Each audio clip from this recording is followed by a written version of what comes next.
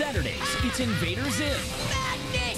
I am Zim! Sundays, it's Dragon Ball Z Kai. You wanna fight? Kaioken! Together, it's Invader Ball Weekend. My empire of doom begins now! Invader Zim and Dragon Ball Z Kai are taking over the weekends with three-hour marathons Saturdays and Sundays for the rest of the summer. Mankind ends now! Showtime! It's Invader Ball Weekends. Starts next Saturday and Sunday at 2 on Nicktoons.